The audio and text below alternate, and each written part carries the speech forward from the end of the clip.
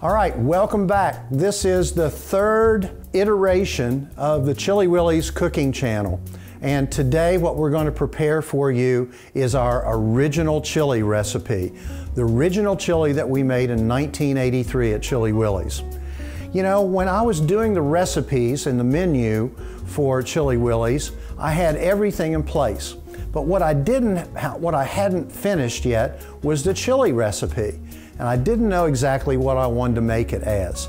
I didn't know whether it was going to be a Texas style, whether it was going to have tomatoes in it, or how it was going to go. So I finally decided that I would have cubed beef, I would have a chorizo uh, as a ground product in it, I would, of course, have onions and garlic in it.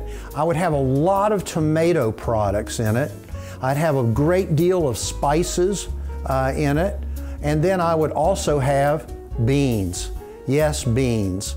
And for a Texan, beans is blasphemy in chili. In our Texas Red recipe, you know that there was no beans in that one. But in the original chili, there was beans in it. So let's look at our mise en place here. The first item is cubed beef. So people will ask, what kind of beef should I use? And what you might consider is top round is a good choice. It's nice and lean. Bottom round is another lean cut. Uh, you could use chuck, but you have to be careful because there's some fat in there and it will render some fat. So I'm actually recommending some top round for that. And then we have diced onions. You can see about how large a quantity and the size of the diced onions. Then we have our canned products here. We have stewed tomatoes, and we've pureed these stewed tomatoes to have a nice smooth texture here. We used a crushed tomato, in this case Hunt's crushed tomato. We used dice green chilies, and these are mild green chilies, so you don't need a lot of heat with them. We used two kinds of beans. You can see here that we have dark red kidney beans, and then we have pinto beans. And then we have our spice blend, starting with ground Mexican oregano, dried cilantro, garlic powder, paprika, which gives a nice bright color to the chili. We have tres ochos, which is uh, means three eighths, and it was a name given to this ground red New Mexico chili that Pendery's uh, is where we purchase this. People have asked, well, how do I get uh, Tres Ochos for some of the recipes and go to pendrys.com. You can order it from them.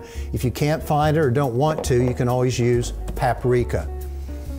We have ground cumin. And then the chili powder that we used is Pendery's dark no salt blend chili blend. So you can see how dark that is. It's got a lot of ancho chili in it, and it's a very hearty, but not really hot, chili powder. And the last piece that we have here is chorizo. This chorizo, you will remember that we made for the Texas Red our own chorizo there.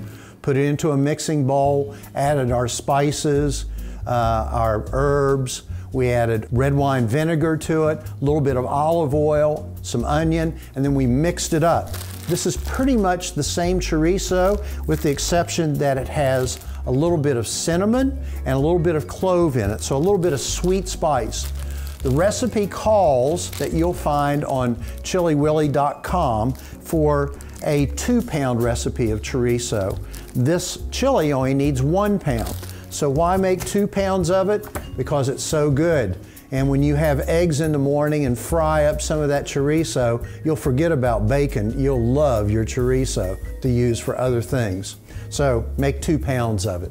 So there's all of our mise en place, all of our ingredients, and let's start making our chili over here by starting to fry off our chorizo. All right, the first thing that we're going to do here in our Dutch oven is we're going to fry up our chorizo. And this is a one pound of chorizo that we've made. We'll add a little oil into the pot.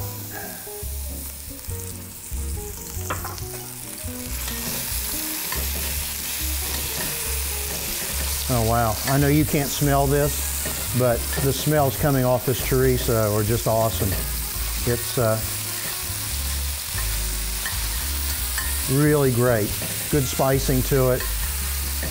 And if you make chorizo, it's always better to make it the day before and let it rest in the refrigerator.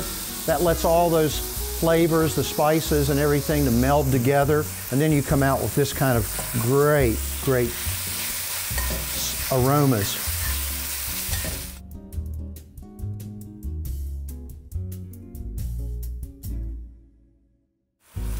All right, now, now that we've got it fried up, let's go ahead and set it aside. Now we're going to saute our onions in this same Dutch oven. We'll add a little bit more oil to the pot.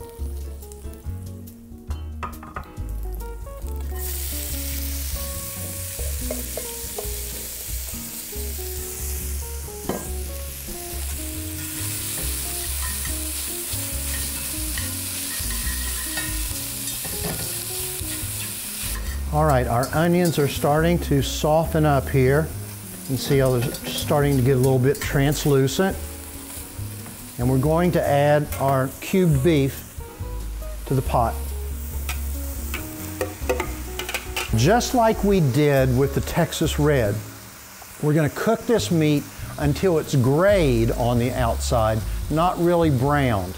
And the reason for that is if we brown the meat, then flavors will not get inside the cube meat itself.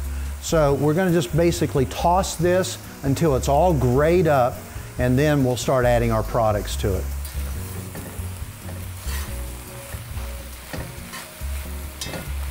And this process of tossing and, and graying the meat will take four to five minutes. All right, we've been tossing this, turning it about, and you can see how the meat is grayed in color, but you can still see a little bit of pink here. That's okay. What we're trying to do is just partially cook this meat and then it will absorb a lot of the flavors, uh, the spice flavors, and also the acid from the tomato, which will serve to tenderize it. Now then, let's add the chorizo back into the pot. All right, the next thing we're going to add will be all of our dry spices. We'll do our no salt chili blend,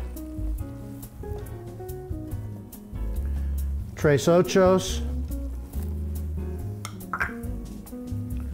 paprika, cumin, garlic powder, ground Mexican oregano, and our dried cilantro.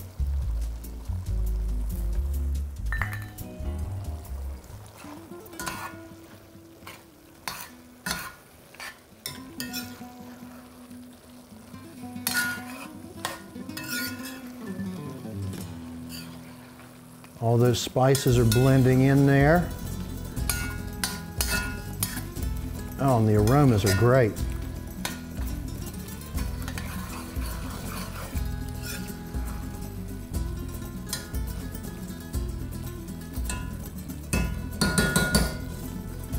Now, let's add our tomato products. We have crushed tomatoes.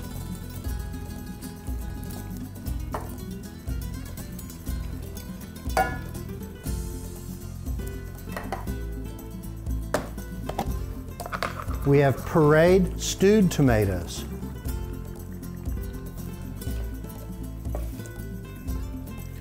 We'll add our diced green chilies.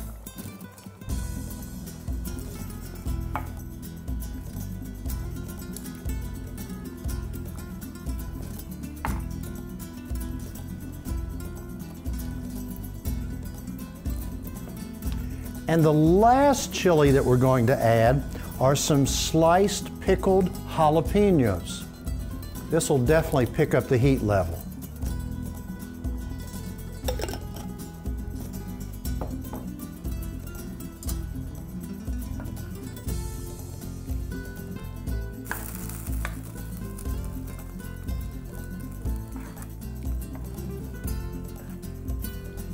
It's really thick.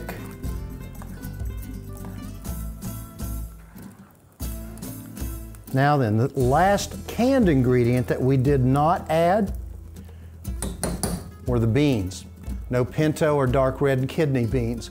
We'll wait to add those the last half an hour of the cooking time. And at that point, we'll probably be taking off some of the fat that will rise to the top. And then we'll reheat with those beans, and that will finish up our chili. So, Let's put the pot on, or the lid back on the pot. Let's let this get up to a boil, and then we're gonna lower the heat, and we're gonna cook it for about one hour. All right, we've been cooking for about an hour now, and we should have a pretty good, oh yeah, we've got a, a we got an oil slick going on here. So what we need to do is skim that off most of this fat has come from the chorizo, not really from the beef. But remember, fat transports flavor, so you do want some. And another thing about making chili, particularly this one, is it's always better the second day. Put it in the refrigerator and more fat will come to the top if you really are conscious about how much fat that you're consuming. So, like I said, chili's always better the second day. Okay, now we can add both our dark red kidney beans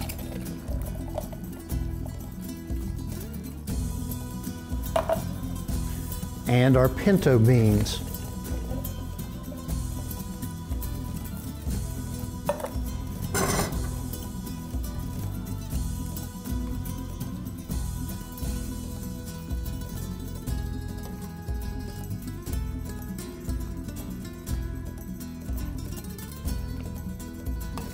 Now this chili is pretty thoroughly cooked now. The meat itself is pretty much fall apart tender. Yeah. And we'll let the beans heat up in the chili, which will take us about 20 minutes. And at that point, we'll let the chili rest for about 10 minutes and we'll be ready. So put the, put the top back on the pot. All right, so we have let our chili here cook for 20 minutes to get the beans nice and hot. Then we've let it rest for 10 minutes. And here, let's take the top off. Oh yeah, we've got some, it's rested. It's still kind of bubbly, as you see. See how thick, what a stew-like chili this really is. See the cube meat in there and all the beans, tomatoes, green chilies. So we're gonna serve this just like we did in Chili Willi's.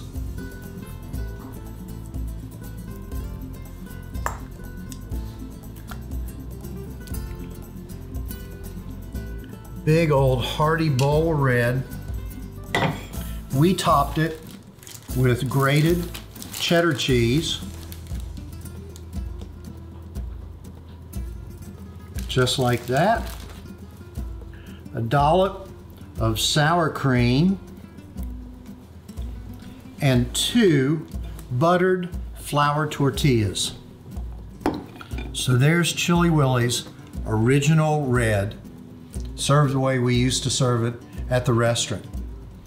You know, there's a story that a doctor tells us here that in his days at Marshall as an undergrad, that this bowl of chili got him through undergrad school because it was an inexpensive way for him to come have a hearty meal. And at the time, we actually gave refills with it. And he says that's what he got him through school. So, doctor, we're glad you made it through school. and today he's practicing here in Huntington. So, so that's our original red, original chili from Chili Willi's. Um, we hope that you enjoyed seeing how it was made and hear the story of the original chili. We hope that you like it so much that you share it with other friends and please subscribe to the Chili Willi's channel. You'll be able to find the recipe on chiliwilly.com or chiliwillis.com for on a PDF and there'll also be the recipe for the chorizo there as well. This is a two pound recipe. It serves about 20 people, but we will also put on there a four pound recipe for all those people who want to do a really big tailgate and want to have some original chili there. So thanks so much for watching. Look forward to our next time. Until then, good cooking.